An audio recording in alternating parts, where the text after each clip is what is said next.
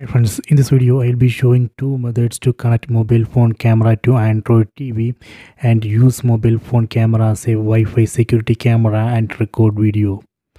Please don't forget to subscribe my channel. Please like and share the video. Method 1. In mobile phone, open settings app. Tap on the settings app icon. Tap on Bluetooth and devices.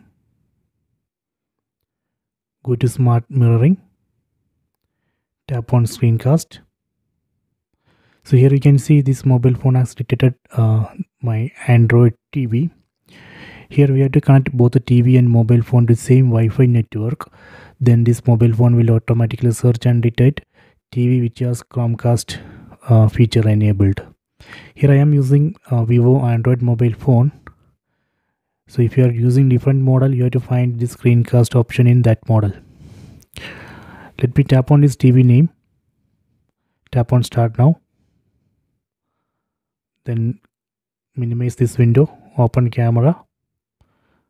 Then tap on video. So now we can record video and we can use this camera as a Wi-Fi security camera.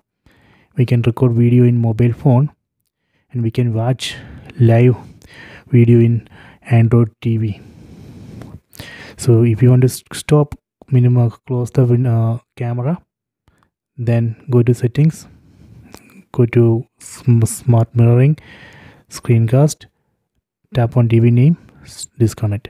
Okay so this is the method one. So let me go to method two. Method two.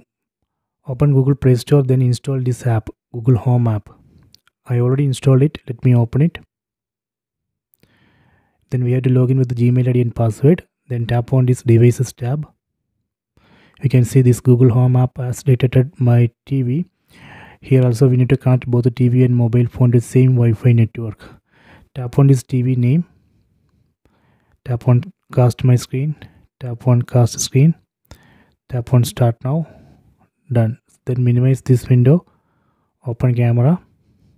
Tap on video. Then we can record this video and we can use this camera as a Wi-Fi camera. We can record video and we can watch live video in uh, Android TV if you want to stop close this camera then go to Google Home app stop mirroring done. So these are the two methods. So please try this